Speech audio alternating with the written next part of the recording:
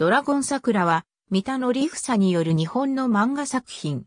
2003年から2007年まで、講談社の漫画雑誌、モーニングにて連載された。単行本は全21巻、話数は全194話。続編であるドラゴン桜2が2018年から2021年まで連載された。話数は全139話。様々な受験テクニックや勉強法が紹介され、和田秀樹の著書、受験は、要領や福井一世の著書、一発逆転非裏技、勉強法と並び受験業界で話題を呼んだ。一話ごとに受験に臨む心がけなども紹介されている。また、子育てに関するエピソードも盛り込まれており、カバーする領域は広い。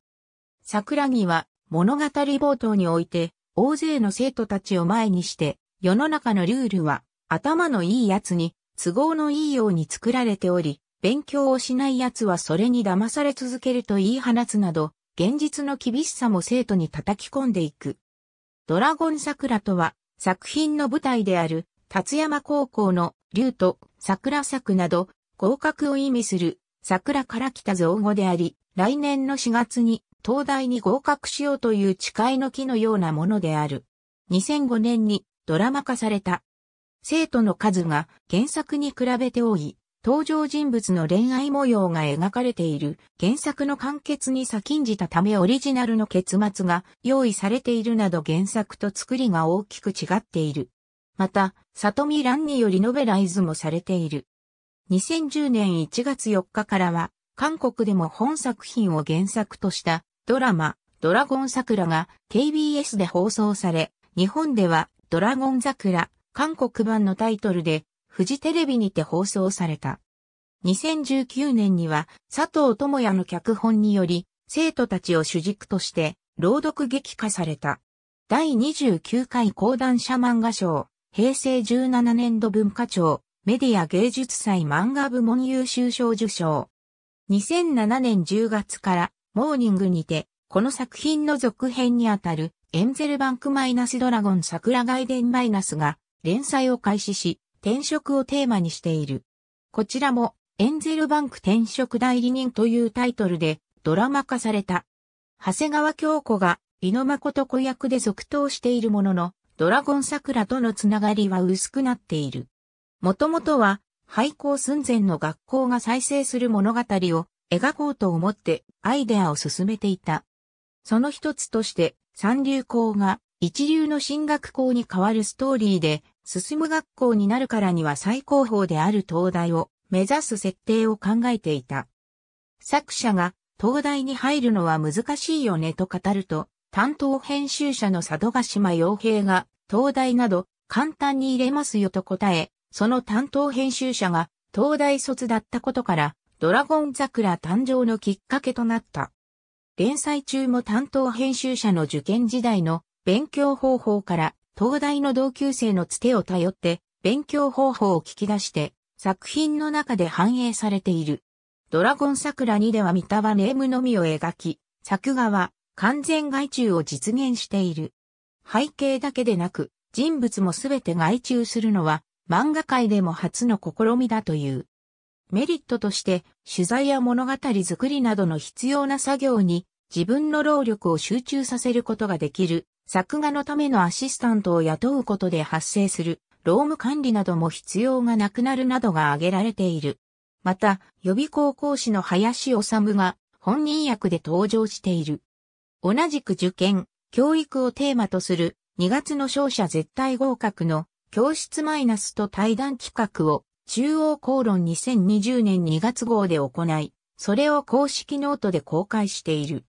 この対談の中でドラゴン桜2のテーマは、受験生人口の最大ボリュームは、偏差値50から60代であるため、彼ら彼女らに、あなたたちも1年間本気で勉強すれば、余裕で東大に行けますよ、諦めないでと伝えたいと語っている。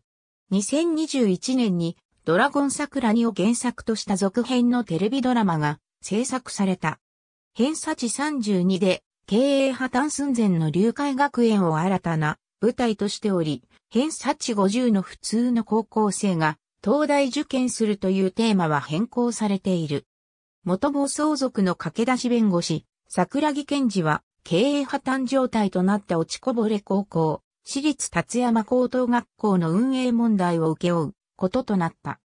はじめは生産を計画していた桜木だったが、破綻を回避し、経営状態を良くするためには、進学実績を上げるのが手っ取り早いと考え、5年後に東大合格者100人を出す計画を考案する。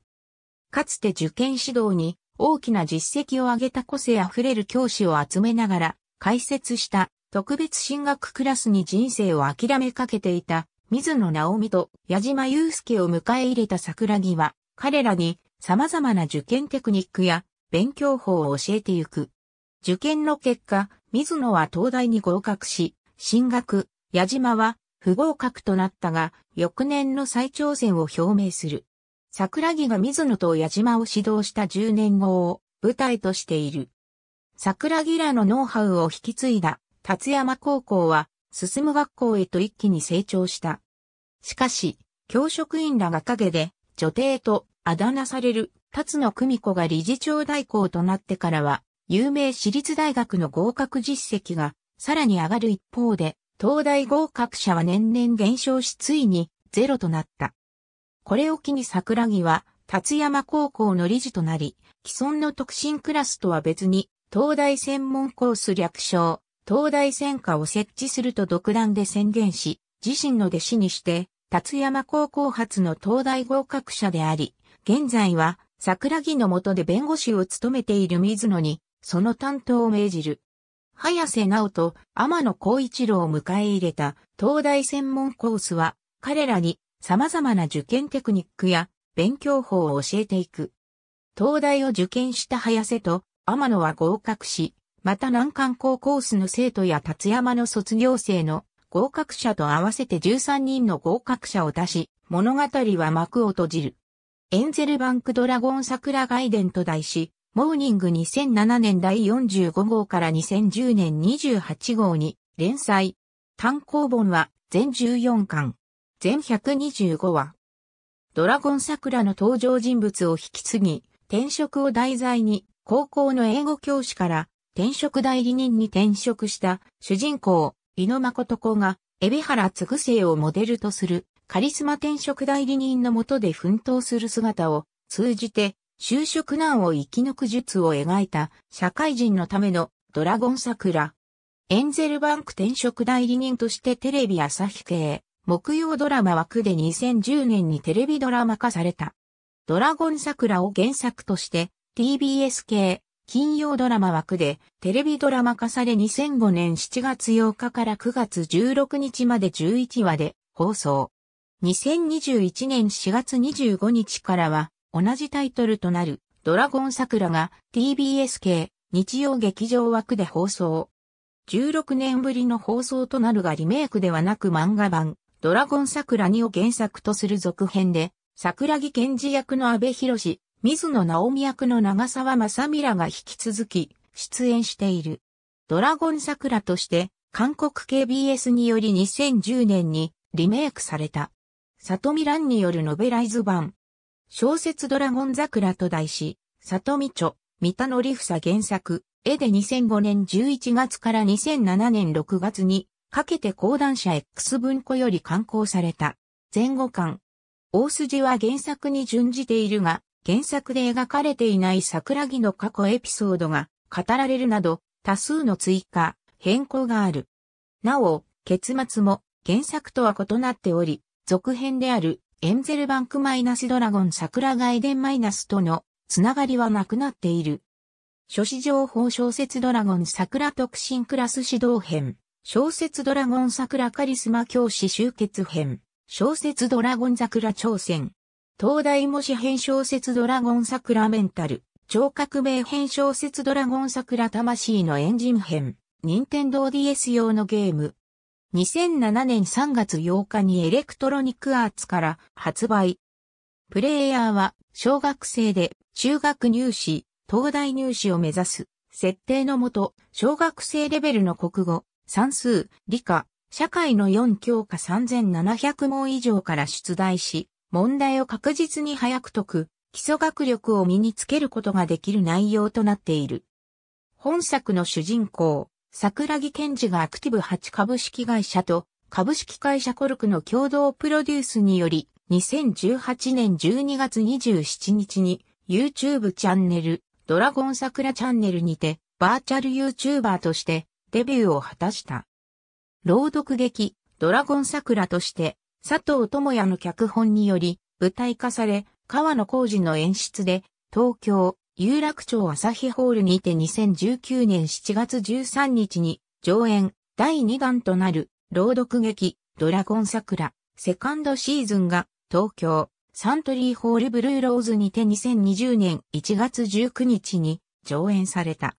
生徒を主軸とした構成で主演矢島祐介役を高崎翔太が演じ、ヒロイン水野直美役を本作が女優デビューとなるリーゼが演じた。ドラゴン桜2に関するカテゴリー。ありがとうございます。